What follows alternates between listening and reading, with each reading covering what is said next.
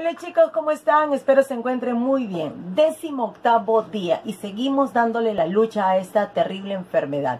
¿Y saben por qué? Porque nos quedamos en casa. Así que por favor todos a quedarse en casa. Y eso va a depender de ti y de mí. Hoy estamos celebrando un día súper importante. El Día Mundial del TEA. Trastorno del espectro autista. Desde aquí les envío a cada uno de mis niños un beso enorme y que Dios me los bendiga a ellos y a su familia. Tener autismo no significa no ser un ser humano, sino ser diferente. Claro que sí, porque en las diferencias están, estamos todos. La diferencia siempre nos va a ser únicos. Nunca lo olviden. Feliz día del autismo. Y para disfrutar este día maravilloso en familia, les he traído una manualidad muy simpática y fácil de hacer. Lo único que vamos a necesitar es una pieza de papel en forma de cuadrado. Este es un pedazo de papel de regalo, puede ser de revista. Vamos a hacer un pequeño vaso, pero en este caso le vamos a dar una utilidad como un maceterito. Así que a esta pieza cuadrada la vamos a doblar en forma de triángulo. Ayúdense con la mesa. Perfecto, ya está nuestro triángulo. Y así como cuando nos queremos cruzar de un lado a otro para abrazarnos, de la misma manera vamos a doblar la pieza de papel. Llevamos el medio como referencia. Si gusta, le vamos a hacer una marquita para saber con exactitud cuál es nuestro centro, nuestra línea central. Cogemos así la pieza y como si, si estuviera abrazando, vamos a doblar hasta que quede en forma horizontal el doblez. Ahí. Y de la misma manera la otra pieza. En forma horizontal. Es importante que utilicen la mesa. Yo voy a utilizar la mesa, luego les enseño. Ya. Aquí está. El triángulo, doblamos una parte y luego la otra. Ustedes van a observar que quedó dos aberturas. Una piecita y otra piecita. Son dos piecitas que quedaron arriba. La primera piecita la vamos a doblar hacia abajo, hasta donde ve. Perfecto. Y la que quedó levantada de esta manera, si ustedes observan, hay un agujero. La que quedó levantada de esta manera va a estar doblada, pero hacia dentro del agujerito. Ya, perfecto. Ahí está. Volteamos, porque ahí queda. Así quedó nuestro vasito. Pero en esta oportunidad, oportunidad le vamos a dar el nombre de un macetito, ¿no? Una macetita para poder hacer nuestro hermoso florero. ¿Hasta ahí estamos? Muy bien. Vamos a dejarlo a un costadito. Ahora, vamos a coger una pieza de cualquier papel. Y también eh, puede ser eh, el tamaño que nosotros querramos, pero que la figura sea cuadrada. Vamos a hacer tulipanes. De estas piecitas cuadradas vamos a doblar y formamos un triángulo. Como referencia, para saber cuál es nuestro centro, acuérdense de doblar y marcamos para que nos diga cuál es la mitad. Acá está la mitad. Cogemos ahí y en forma de tres cuartos les levantamos hacia la parte de arriba los dos extremos de esta manera. Ahí está la base de nuestro tulipán. No se une al centro, sino al tres cuartos. Lo dejamos a un costado y acá tengo una pieza de color amarillo. Vamos a formar y el doblamos un triángulo. Está nuestro primer triángulo. Ahora doblamos y formamos un segundo triángulo. Ya está nuestro segundo triángulo. Y vamos a hacer la misma operación del tulipán.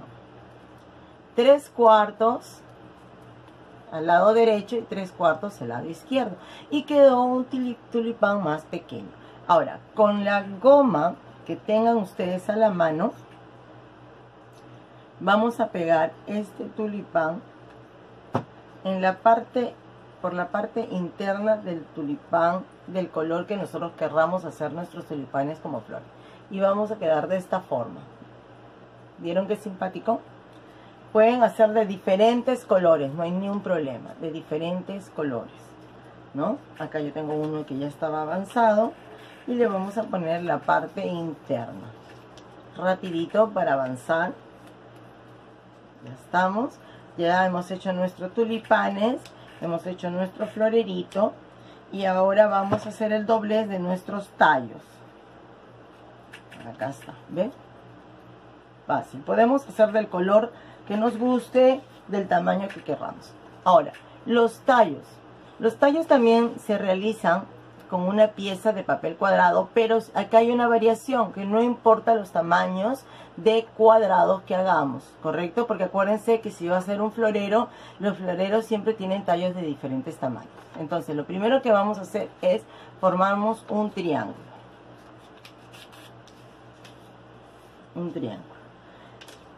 Una vez que está formado el triángulo, vamos a elegir una base central y vamos a formar de esta manera con un tipo de conito. El centro lo llevamos hasta la línea vertical. Formamos como un tipo conito. Ahí está el tipo conito. Y nuevamente hacemos la misma operación hacia la línea vertical. Va a quedar de esta forma. Yo lo hice en la mesa porque si no, no podía doblar. Y si ustedes observan, hay una línea de referencia en la parte inferior, tipo diagonal, y eso sirve para poder doblar nuestra hojita. Y ahí ya tenemos nuestro tallo, ¿correcto? Los tallos se pueden hacer de diferentes tamaños. Acá yo ya tengo uno hecho, más pequeño, ¿verdad? Miren los tallos de diferentes tamaños. Lo vamos a dejar a un costado para hacer nuestra manualidad. Yo cogí y ustedes también pueden utilizar una base de papel bond del color que ustedes deseen. No hay problema, de cualquier color que ustedes deseen. Y si desean alguna base que tenga diferentes colores, también puede servir. Segunda pieza. Puede ser una cartulina de color blanca o de otro color que sea contrastante, que contraste para que pueda resaltar la imagen. Ahí está. Pues ahí estamos. Muy bien. Una vez que hemos hecho la base, vamos a pegar nuestra macetita. Nuestra macetita por un solo lado para que quede la abertura por la parte frontal, ¿no? Por la parte de adelante. Observen aquí, ¿ven? Quedó ahí nuestra macetita. Quedó ligeramente abierta la parte de adelante. ¿Por qué abierta? Porque aquí es donde van a ir los diferentes tallos. Voy a ir pegándolos y ustedes van a ir observando.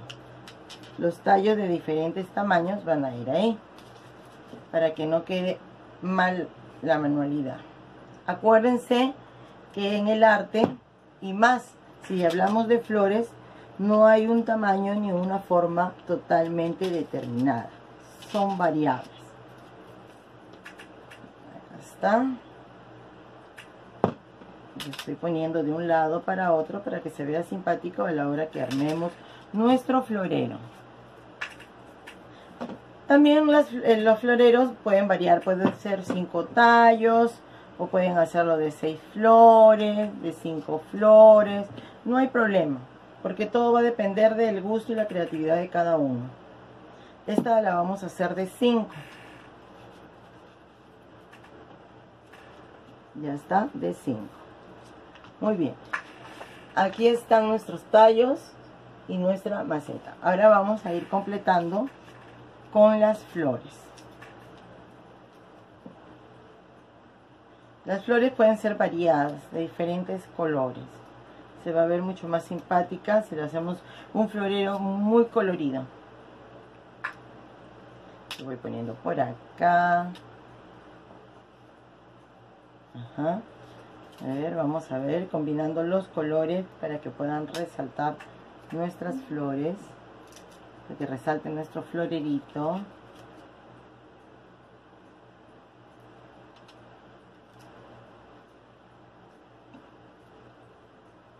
Ajá.